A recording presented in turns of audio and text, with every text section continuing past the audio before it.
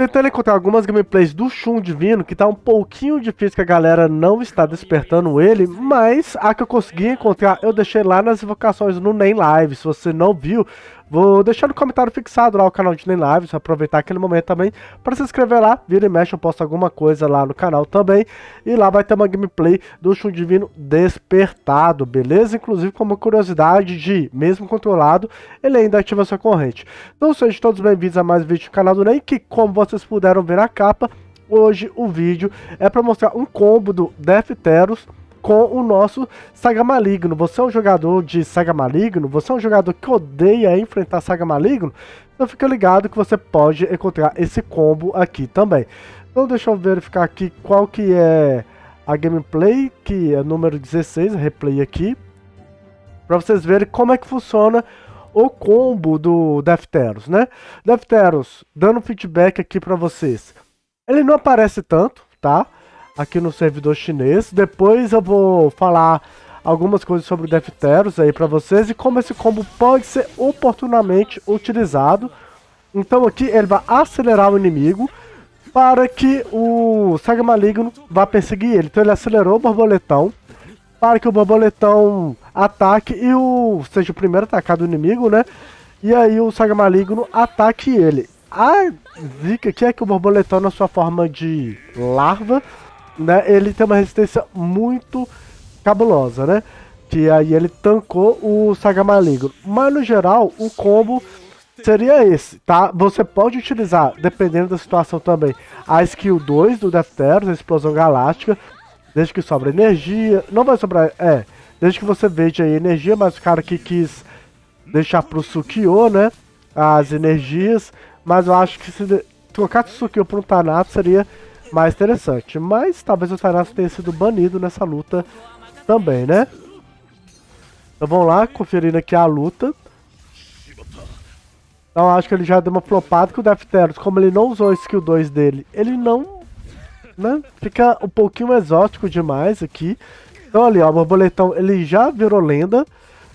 Por causa do... Como o Borboletão tá com infinitos de speed, né? Primeiro a jogar o Saga Maligno atacou ele, então esse aí seria um dos combos que você pode utilizar oportunamente. É um combo que dá às vezes para usar, dá às vezes para não usar, vai depender muito da formação do inimigo, né?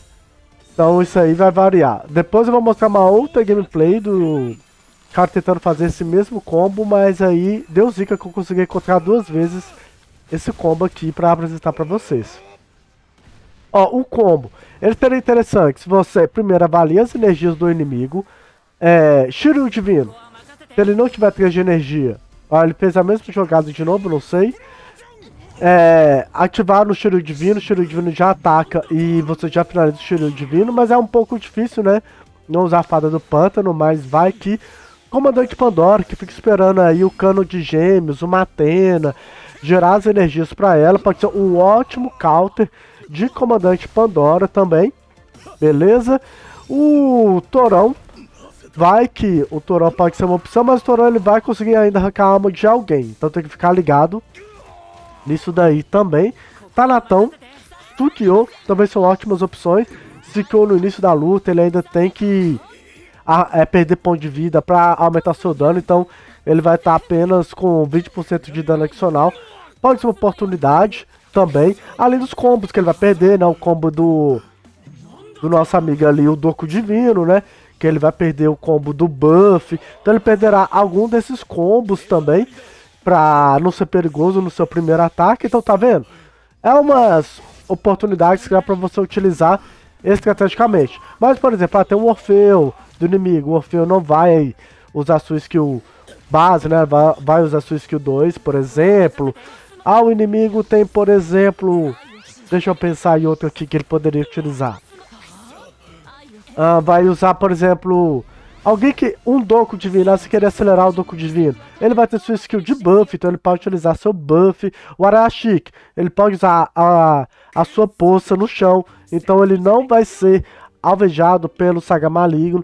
Então tem que ficar ligado nisso aí. Se o inimigo tiver alguma skill de suporte ele poderá neutralizar o Saga Maligno. Tem que ser todas as skills de ataque, ou ele não tem energia para ativar as skills de ataque, como é a Comandante Pandora, né, que tem que ter 4 de energia, ou o Shiro Divino, que tem que ter 3 de energia.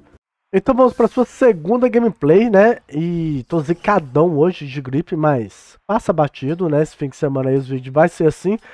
Mas esse aqui o cara vai dar uma zicada no seu combo do Defteros.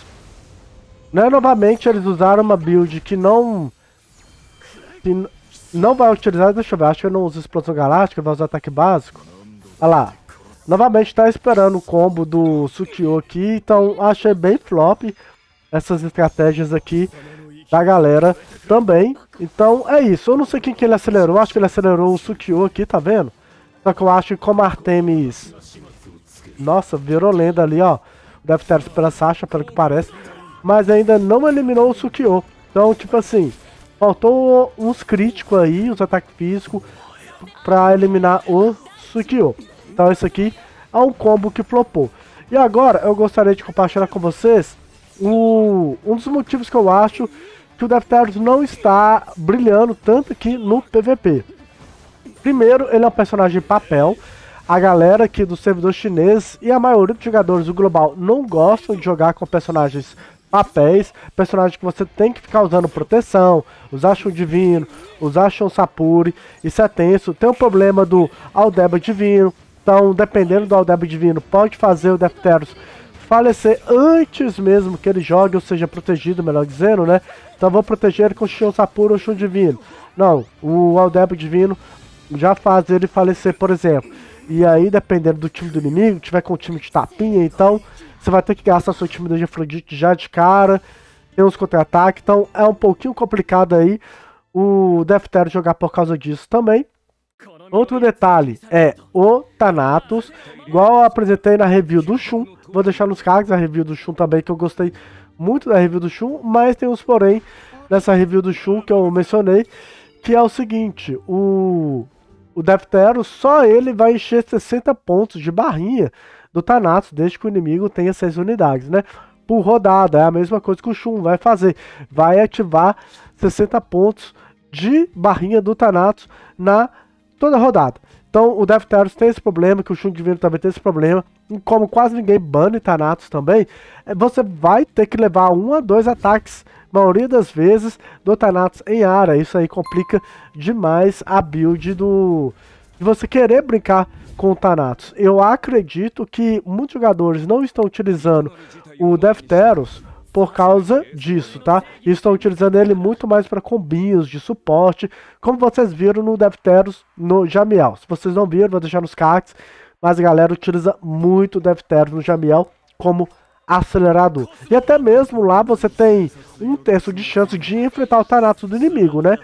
Ou se o inimigo já tiver usado o Thanatos e vencido, você já sabe que o inimigo não vai utilizar o Thanatos. Tem essa estratégia no Jamiel também.